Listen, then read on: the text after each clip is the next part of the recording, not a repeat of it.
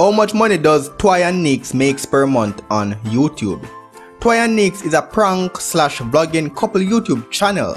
They produces hardcore pranks and many of their videos went viral. According to Social Blade, which is an online platform that gives an estimation of how much money a YouTube creator makes per month, Twi and Neeks makes an estimation of between 41 to 649 US dollars per month. Let's say they make 649 US dollars per month. Convert this to Jamaican dollars equal $97,300 per month. Note, this is just an estimation and my calculation could be wrong. Data used within this video was taken from various sources online.